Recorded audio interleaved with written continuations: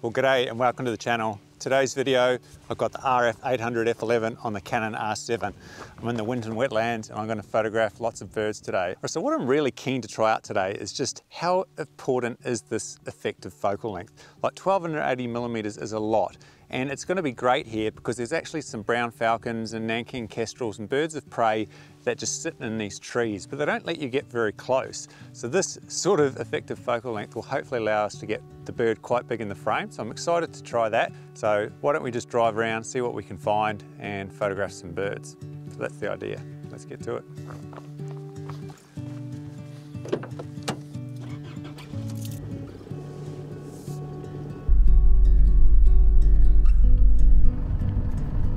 So I've just spotted a sulfur-crested cockatoo checking out some hollows in this big dead tree. So I'm just going to take some shots and just move closer and closer. That's how I do it. I sort of start from a distance, get some insurance shots, and then just walk a little bit closer um, as we go. So I'm currently in mechanical mode, 15 frames per second, using dual back button focus, and we'll just focus on there it is. Oh, that's nice. It's just putting its head out this hollow, which makes for quite a nice shot. Okay, so I've got those, let's move a little bit forward.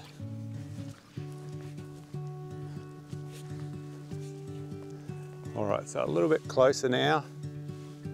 There we go, so we'll take some shots. All right, very good.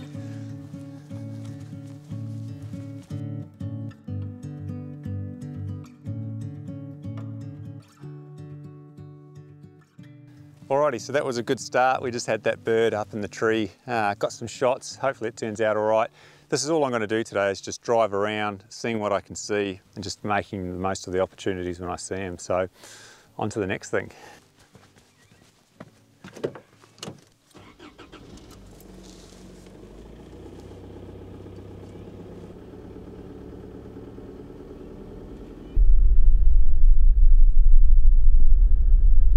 driving slowly, just scanning to see if I can spot a bird sitting in one of these dead trees.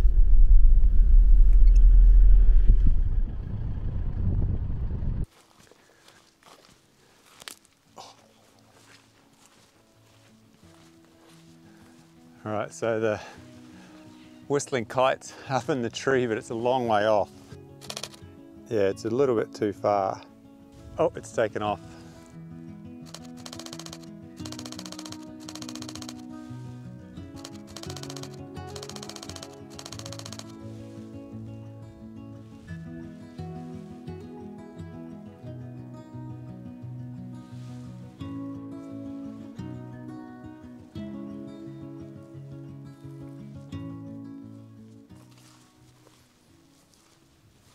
So we've got a uh, brown falcon in a tree over here. I don't know how far it is, maybe 40 metres, something like that, 50 metres. We'll just see if we can't get a little bit closer.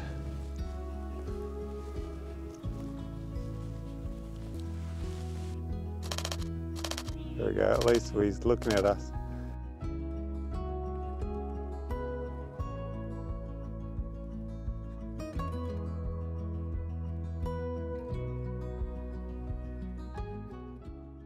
It flew off. That's always the tricky part. You just don't know how close should I get. That's always the issue that you're dealing with. And with all this uh, extra reach, I still got a shot, I think, which is okay. Um, it's not as close as I would have liked, but I think it's still going to turn out okay. I've just spotted the flame robin. I've just seen him. I'll see if you can spot him in there. You see that orange breast all the way over there? That's what we've been looking for. Okay, so I just spotted the flame robin as I was walking back to the truck. He's over here, so let's go for a walk and see if we can't track him down and then stalk him. He must be feeding on the ground here somewhere, so I'll just tentatively go towards it.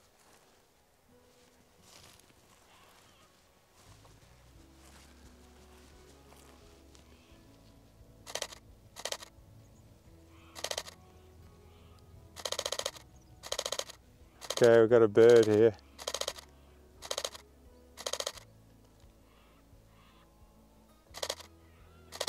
I haven't quite got the sun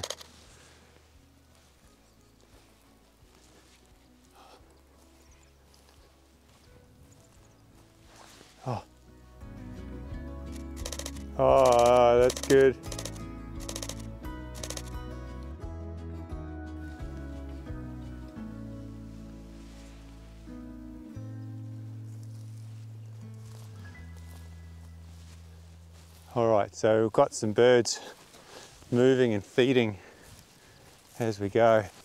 So I've noticed that these flame robins are perching on this uh, on these stumps. So I just want to give them a really obvious place to land. So something that sticks up above everything else. So I've just moved this log here and we'll see if they like this higher vantage point to land on see how we go. Okay, the male's coming. The male's just down to my left. Come on, buddy. This is where you pray to the birding gods that uh, the bird will go where you want. they perch, they drop to the ground, they feed, and they pop back up. So what I'm hoping is as he's traveling and doing this, he lands on my perch or one of these perches He's on the perch. He's on the perch. He's on the perch.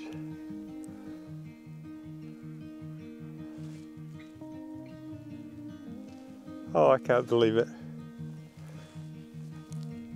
He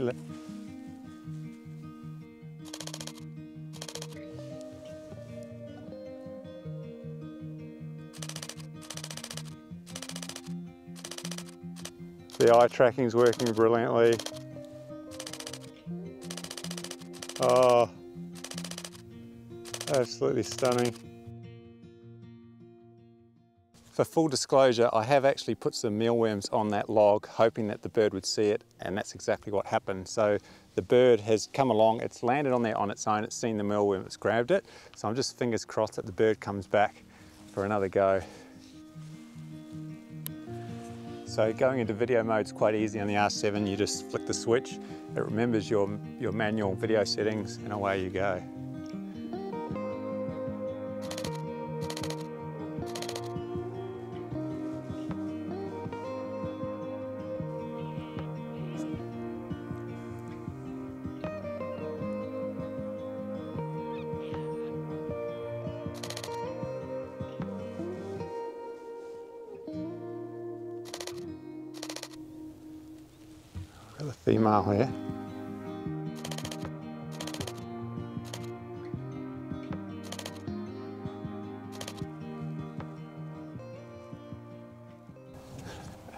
This is incredible.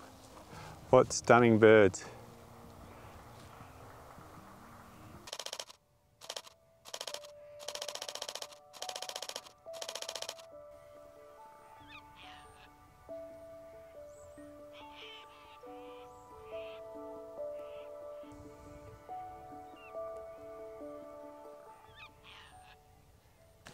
That worked a treat. We've had the male and the female now on that perch, which is just awesome. Um, very, very happy. Okay, so all I'm doing is I know that these birds land on these fence posts periodically as they come through feeding. So all I'm going to do is stand here and wait. If I go after them, they tend to move away. So my best strategy is just to stay where I am and hopefully they come to me. So I have to admit, with 1280 millimeters of focal length, it's really hard to find a bird that's quite close to you. I had the female down in front of me and I just simply couldn't find it. It's very difficult, especially with the monitor, it makes it even harder than using a viewfinder. Oh, there he is. Oh, I've got nice light on this female. That was good. It landed on the it landed on the old fence post. You can see how the eye tracking just picked it up, and you'll also notice that the box is actually quite a bit bigger um, in the R7 on the monitor, whereas on the R5 it's much much smaller. So it's a real bonus on the crop body. The uh, autofocus window fills up the majority of the window, which is awesome. So that was cool. Got some good shots there. Still haven't landed on the perch I want, but I'm very happy. So I just heard some little zebra finches in the grass and didn't get a very good shot. Such a cute little finch that we have here. The light now is just so beautiful. The background, we've got this, this dead, these dead weeds or whatever, they're just coming up like a orangey red color in our background with coupled with that bird. It's just making for some absolutely beautiful shots. Oh, oh, the male flame robin right there.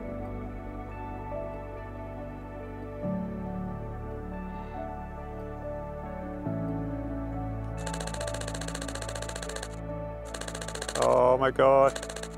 Colors, everything's just stunning. Oh, it's just crazy. Absolutely stunning. Absolutely stunning. Unbelievable. I mean, it doesn't get any better than that. Beautiful bird on this perch, got the shots.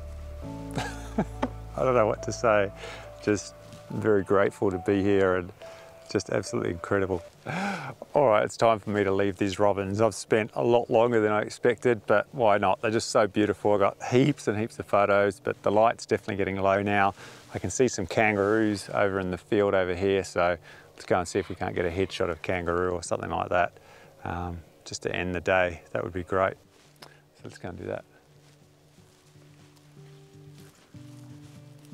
So we've got a fairly big mob of kangaroos out here. Just see if we can't locate one.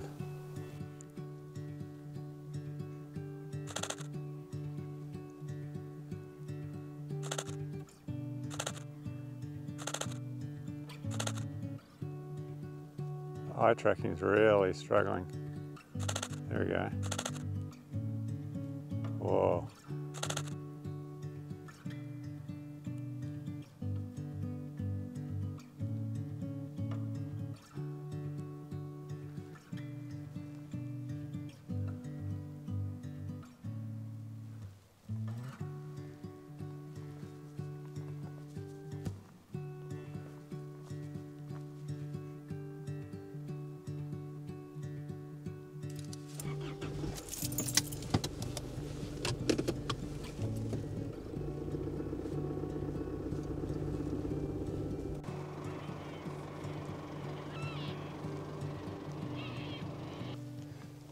So the light has pretty much disappeared, but I've got some sulfur-crested cockatoos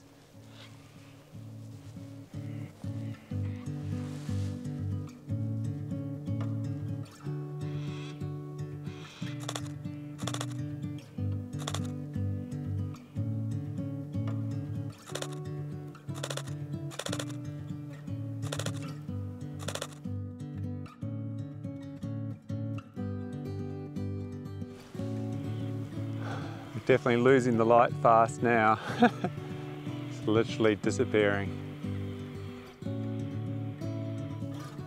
Well, we've got a few shots of those cockatoos.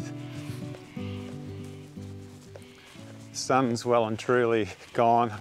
Okay, so the sun's gone down. I'm waiting for the moon to come up. Sounds like a song.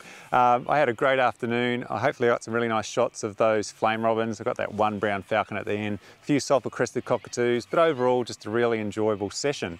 Uh, the 800 gave us all that extra reach, so the birds were quite big in the viewfinder. I did struggle to find them, um, mainly with the monitor trying to find them when they're up close with that much focal length is a drama and I missed a few shots. You know, I was using the 15 frames per second. Oh, and I did not hit the buffer once today. Didn't hit the buffer in 15 frames per second C-RAW, so not an issue. So as you saw with those flame robins, just managed to be in the right place at the right time and waited for them and they popped up um, sulfur crested cockatoos, just again, just looking for the right composition and, and, what have you. So I'm definitely testing the R7 more and more. I'm getting used to where everything is and how it's working, which is to be expected as you use a camera more and more. Uh, overall, an enjoyable day. So I often get asked what lenses people should be using with the R7, and this is possibly a, an option for you, you know, for a thousand US, I think it is. So two and a half thousand, around the same price as an R6, you can get this camera and this lens. So it's definitely an option. 800 is too much for a lot of things. You will need a zoom lens, like a 100 to 400. Um, this on its own would just be too much, especially when the birds come close with its minimum focusing distance and that crop factor. So it's just something to consider. But overall, a really enjoyable enjoyable session. Um, I hope you enjoyed today's session. If you've got more questions about the R7, leave them in the comments. I do read them and reply to them. Uh, thanks to all the new members that are supporting the channel. I appreciate that. The subscribers, of course. like if you like it, lets YouTube know that my videos are worth watching. So thanks again, very grateful for all the support. Until the next one, take care and see you later.